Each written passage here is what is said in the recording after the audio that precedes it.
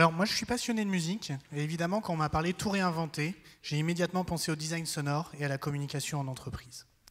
Alors comme je n'ai pas du tout de visuel, je vous propose de bien vous installer dans votre fauteuil, de fermer les yeux, de vous concentrer sur ma voix et de vous connecter sur le lieu, ici, maintenant. Alors le design sonore, c'est quelque chose d'extrêmement utile pour l'entreprise, puisque l'entreprise n'en a pas forcément conscience, mais elle laisse énormément d'empreintes sonores par la voix, la musique ou les sons dans ses différentes prises de parole. Est-ce que vous saviez par exemple qu'un magasin qui n'utilise pas d'ambiance musicale va voir son chiffre d'affaires diminuer de 30%. A contrario, une enseigne qui va utiliser, elle, un concept sonore bien élaboré, va, elle, dynamiser son activité de plus 17%. Moins 30% d'un côté, 17% de l'autre. Alors comment ça marche? Bah, Vous allez voir, c'est assez simple. Le son a en fait quatre leviers d'action sur l'individu. Le premier levier est physiologique. Il y a un lien direct entre le son qu'on entend et, par exemple, l'émission de neurotransmetteurs. Si je diffuse ceci,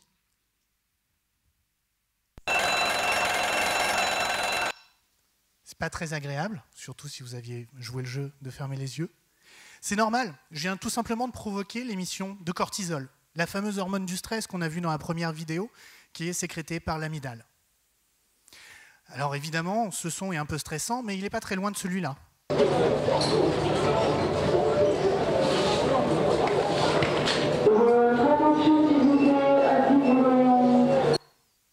C'est le son d'un magasin qui n'a pas d'ambiance musicale. Alors on peut aussi provoquer des choses positives grâce à du son ou grâce à de la musique. Typiquement, on peut imaginer ralentir légèrement votre rythme cardiaque ou simplement stimuler euh, la sécrétion de dopamine.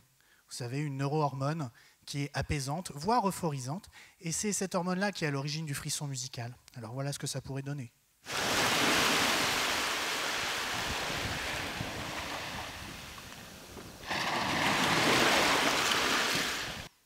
Ça, c'était le premier levier. Le deuxième levier est d'ordre émotionnel.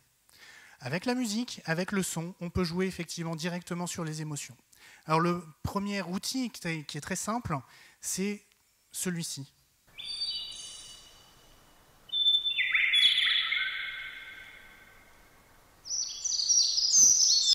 Effectivement, si j'ai envie de vous apaiser, de vous calmer, de provoquer des émotions positives, je n'ai qu'à jouer sur ce qui est ancré au plus profond de notre cerveau primitif, le chant des oiseaux. La raison, très simple, le chant des oiseaux signifie l'absence de danger, puisque l'absence de prédateurs. Alors évidemment, on peut aller un petit peu plus loin concernant les émotions positives, euh, en étant sur des choses un petit peu plus complexes. Imaginons par exemple un son qui provoque quelque chose de joyeux, quelque chose de lumineux, pourquoi pas quelque chose de magique et merveilleux, ça pourrait donner ceci.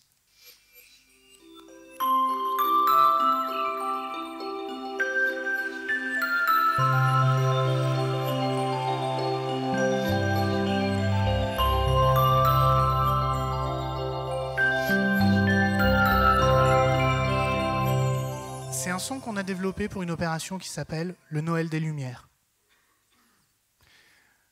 Le troisième levier de l'action du son, c'est le levier cognitif. Alors moi, c'est celui qui me fascine le plus, puisque en fait notre cerveau va traiter automatiquement le signal sonore et sur la base simplement d'une note, d'un accord, d'une musique, le tout début de cette musique, vous allez pouvoir associer des moments de vie, une marque, reconnaître une chanson entière.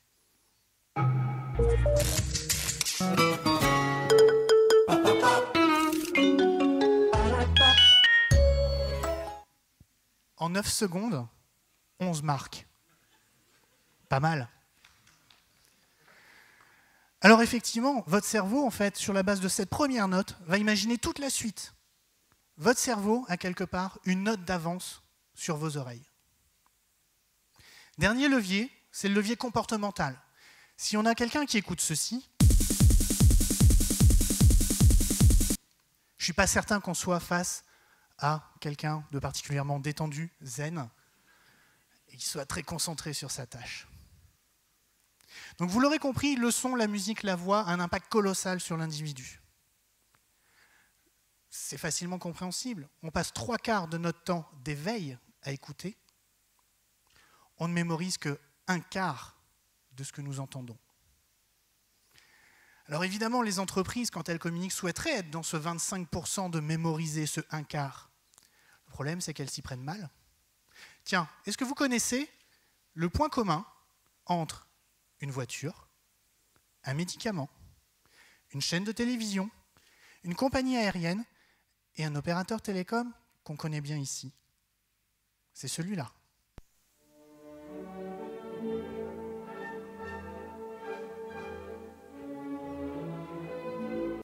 Le beau Danube bleu, Strauss, premier au top 50 des musiques de publicité.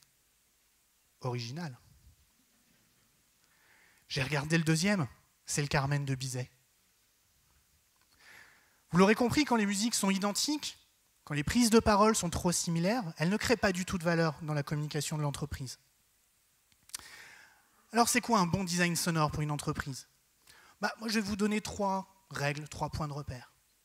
La première règle, quand vous êtes décideur en entreprise, c'est d'avoir conscience de vos empreintes sonores. Vos empreintes sonores, elles sont multiples. Aujourd'hui, vous avez dans le domaine de la téléphonie tout ce qui va relever de la téléphonie fixe, de la téléphonie mobile, vos messages d'accueil, vos prédécrochés, vos messages d'attente, vos serveurs vocaux interactifs, celui de votre siège social, des différentes agences, enfin bref, rien qu'en téléphonie, il y a déjà énormément de supports. Mais vous avez aussi les médias, le hors-média, le fameux digital brand content, on va utiliser du son, des musiques, des voix. Eh ben, tous ces éléments constituent autant d'empreintes sonores que votre entreprise peut utiliser. Aujourd'hui, ce sont à peu près des dizaines d'occasions que vous avez par jour de communiquer auprès d'un client, d'un consommateur. Mal fait, ce sont des dizaines d'occasions de diminuer votre chiffre d'affaires, moins 30%. Bien fait, ce sont des dizaines d'occasions de le booster, de dynamiser votre activité, plus 17%. La deuxième règle, bah, c'est de suivre l'acronyme CATA.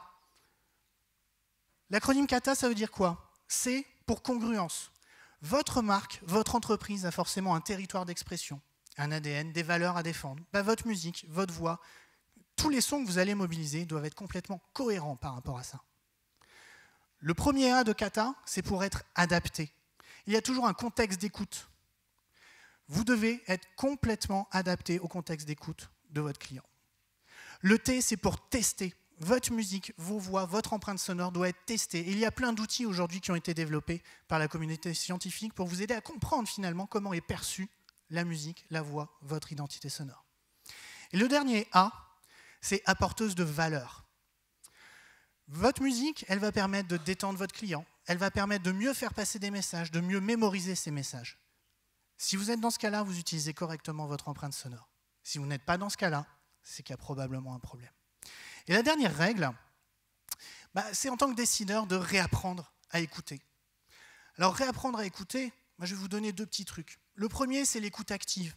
Alors l'avantage, c'est que dans une session euh, TEDx, l'écoute, a priori, est assez active, donc on est assez tranquille. Par contre, quand vous êtes dans un lieu, n'importe où, il y a des bruits, il y a différentes sources sonores, essayez de vous concentrer pour identifier toutes ces sources sonores, toutes les localiser. Vous allez voir, l'exercice n'est pas facile. Quand vous écoutez une musique, vous pouvez essayer de lister l'ensemble des instruments de musique qui sont utilisés dans ce que vous êtes en train d'entendre. Le deuxième petit truc que je peux vous donner, c'est le silence.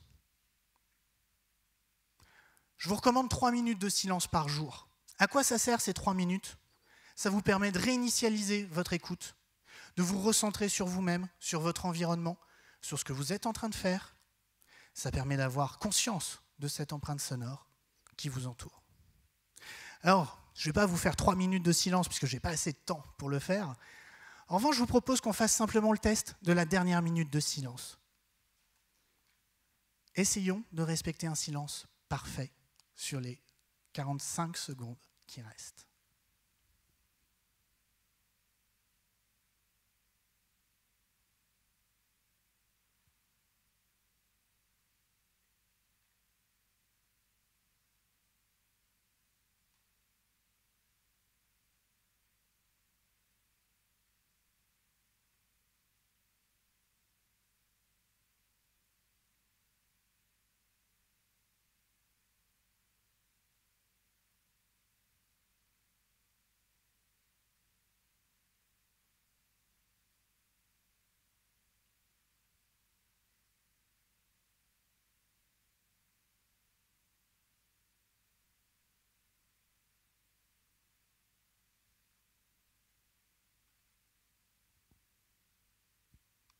Gong.